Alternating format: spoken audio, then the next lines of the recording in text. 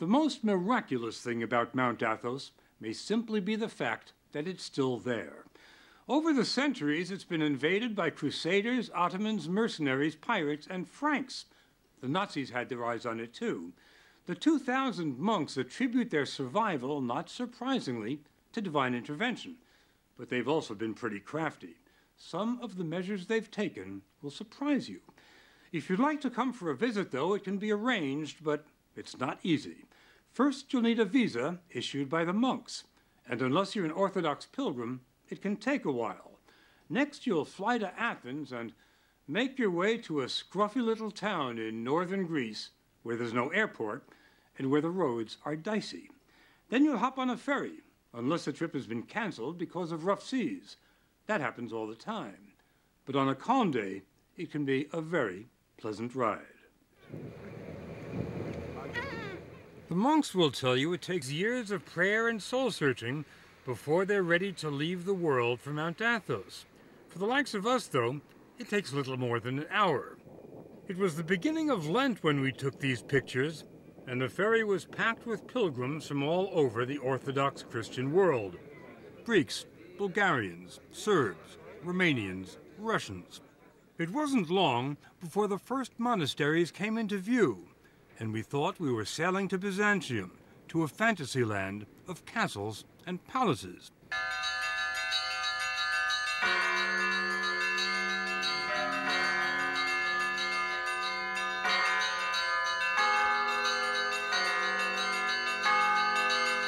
We were headed for Vatopedi, one of the oldest and largest monasteries on Mount Athos. It had the feel of a medieval city. Holiness seemed to seep from the very stones, from the frescoes on the 10th century church, from the marble font for holy water. But then there was the monastery's secular looking centerpiece. There's nothing remarkable about the clock tower at the Vatopedi Monastery, except for one thing. Check out the time. It's just about 8.30. Now, my watch reads 2.30. That's a six hour difference, and there's nothing wrong with their clock or with my watch. It's because the monks on Mount Athos keep Byzantine time. The day starts at sunset, not at midnight. The monks measured time this way during the days of the Byzantine Empire. That's the Christian empire that followed the fall of Rome. And that's the flag they still fly here. How long ago did the Byzantine Empire fall? 1453. 1453. That's a well known fact. Well, it wasn't to us, but to Father Serapion, 1453 is the day before yesterday. This peninsula is the only place in the world that still keeps Byzantine time. It has maintained this time for some 550 years. It was harvest time when we arrived, and dozens of monks were hard at work in the olive groves on the hills overlooking the monastery. That's where we ran into Father Nicandros from Melbourne, Australia. This place looks like a like a summer resort, like a holiday resort, like a, sure like, a, like a retreat, uh -huh. but it's Uh-huh. not. It's an arena. It's an arena? Yes. What do you mean The it's unseen an arena? warfare. Unseen warfare? That's right. What does that mean? We fight against the angels of the dark side, you see? Of the demon, of, of the devil, the, Satan. The battle against Satan and the dark side is waged here every day. The spiritual leader at Vatopedi is Abbot Ephrem. Here, the life of Christ is experienced in a genuine way, and this doesn't happen in many other places in the world. What I'm talking about is the art of salvation. It just so happened that while we were there, the monks celebrated an elaborate seven hour vigil, and the church was packed with pilgrims. It's held once a year to honor the archangels Gabriel and Michael. According to the Bible, Gabriel and Michael led the army of angels that expelled Satan from heaven.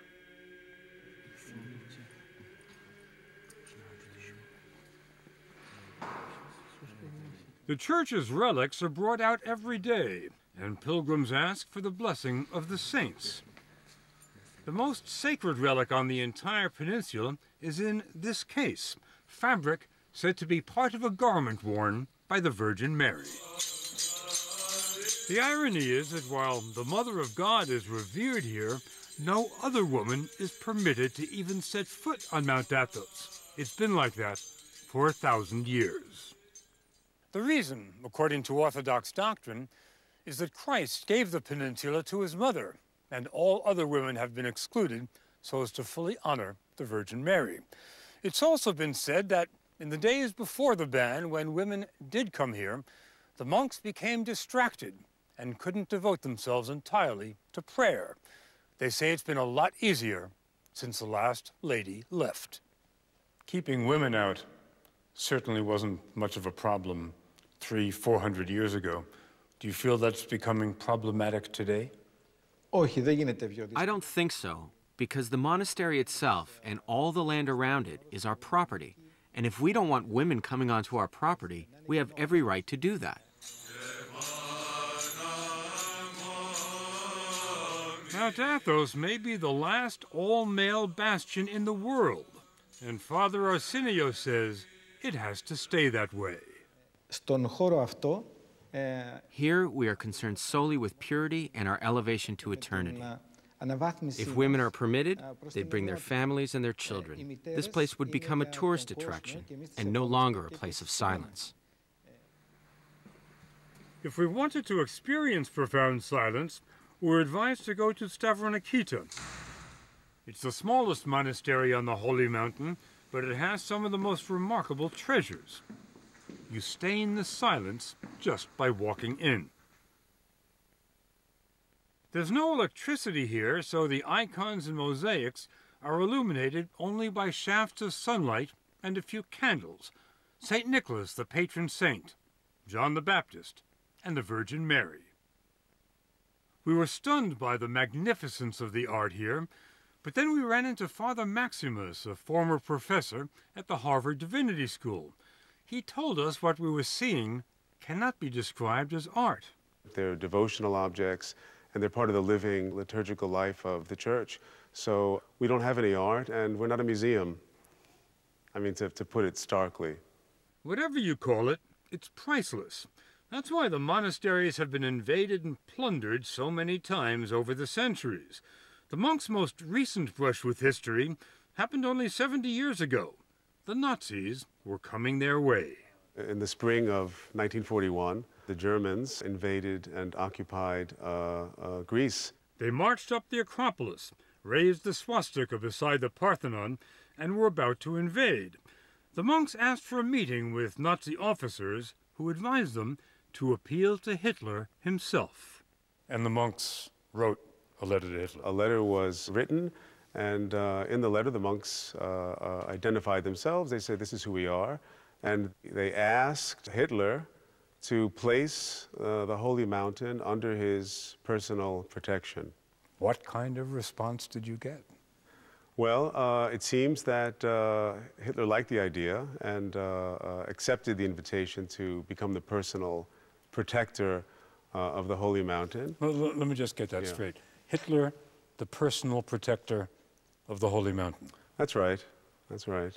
Am Vorgebirge Athos an der Südspitze Hitler did send a team of German academics to Mount Athos. They took 1,800 pictures of the mountain's treasures, and it wasn't because they enjoyed photography. Hitler wanted the monastery's riches in Berlin. The professors were sent as an advance team to catalog the treasures of the Holy Mountain so that a selection of things could be made to be removed. Didn't happen, did it? Uh, no, it didn't. Not a single thing was taken. Father Maximus believes they have the Russians to thank for that. That by the time the Nazi scholars completed their work, Hitler was bogged down in Russia and wasn't thinking about icons. That Nazi period has been largely forgotten here. To the monks, it was just one more blip on the road, and a small one at that. Today, Vatopedi is the most popular destination on the mountain. It hosts 35,000 pilgrims a year and offers more than spiritual sustenance. The monks have their own fishing boats, and the catch is pretty good. The fish are served fresher than in any Greek restaurant. The refectory dates from the 12th century, and since the 12th century, the food here has been free. Vatopedi has been supported by rich benefactors, emperors, princes, kings, and today, partially by pilgrims with deep pockets who commission icons in the making. But the ancient treasures? Not a chance. They can't even see them. They're under lock and key. It's not a new security system, but it works. Normally, it takes more than one monk to unlock the door, because no one monk is allowed to have all four keys at the same time. It's sort of a medieval version of the nuclear launch control. Do you keep those keys in your pocket, Father? Try not to. Father Matthew from Fond du Lac, Wisconsin, was given the abbot's blessing to let us into the inner sanctum. Once inside, there was still another hidden door. Behind the curtain, We walked into the world of Byzantium. It was hard to imagine that everything here was at least 600 years old, because the brilliance had not faded. There are almost 4,000 icons stored in this monastery alone. Oh, wow. The highlight? A 14th century icon of Christ. Every monk will tell you the sole purpose of life on Mount Athos is to get closer to Christ every day. And they say total union with Christ is only possible when they leave this world. Πρώτο πράγμα που κάνει ένας μοναχός είναι να αγαπήσει το θάνατο. The first thing a monk does is embrace and love death, Embrace and love death. Γιατί ο θάνατος because death is the ticket to the other life. Without a ticket, you can't travel. Where do you get the ticket? εδώ στη ζωή αυτή. In this life, that's what we Κάθε do μέρα each αυτό day. κάνουμε. We prepare for death, Ε, Για το ταξίδι μας προς τον ουρανό. and we are joyful about our journey to heaven. Father Matthew offered to take us to the transit point between this world and heaven. When a monk dies, he's buried until there's nothing left but bones. Then he's brought to where every monk who's ever lived here ends up the ossuary. Any idea how many skulls there are here? thousands. I'm not sure how many thousands. Any idea how far they go back? The ones here would be to the 16th century. When you look at the ossuary, what comes to mind? Mostly, I see that uh, this is where I'm going to be. I always like to say these are my future roommates. There was nowhere for us to go from there. So we headed back to the mainland. The monks invited us to come back any time. And if we do, or if our grandsons or great grandsons do, after 10 days here, this much we believe. Mount Athos will not have changed at all.